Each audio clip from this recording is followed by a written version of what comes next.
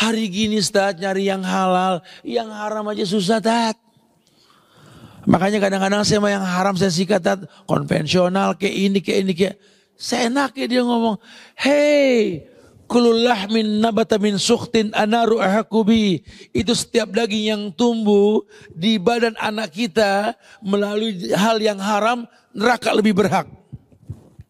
Disiplin pak, kita laki-laki pak. Istri nggak lihat, orang tua kita nggak tahu, Allah maha tahu pak. Jangan sampai nyari uang yang syubhat, apalagi yang haram. Itu modal dasar anak jadi orang-orang mulia. Karena nggak ada ulama besar dengan uang haram. Nggak ada. Disiplin itu.